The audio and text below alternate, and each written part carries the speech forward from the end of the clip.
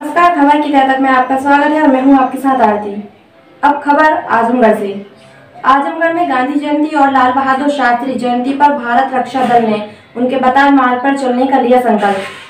सगरी तहसील के भारत रक्षा दल जियनपुर नगर इकाई के द्वारा कल गांधी जयंती और लाल बहादुर शास्त्री जयंती पर ध्वजारोहण कर मिष्ठान किया गया तथा उनके बताए गए मार्ग पर चलने का सभी ने संकल्प लिया इस दौरान जयपुर नगर इकाई के अध्यक्ष मदन शर्मा ने उनके जीवन का प्रकाश डालते हुए कहा कि जिस तरह से बापू ने सत्य और अहिंसा के मार्ग पर चलकर देश को आज़ादी दिलाई।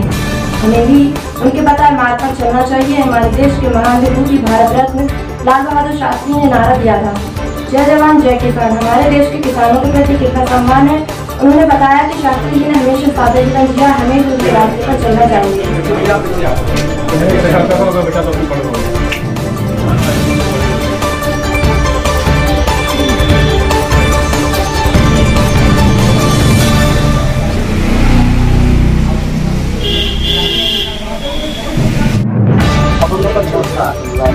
मैं मदन शर्मा, नगर अध्यक्ष, भारत रक्षा दल, नगर इकाई जी एन जीएनपुरा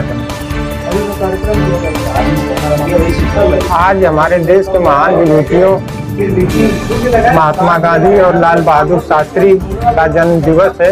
उन्हीं के उपलक्ष्य में हम लोग झंडारोहण का कार्यक्रम और उनको श्रद्धा सुमन अर्पित किए हैं। और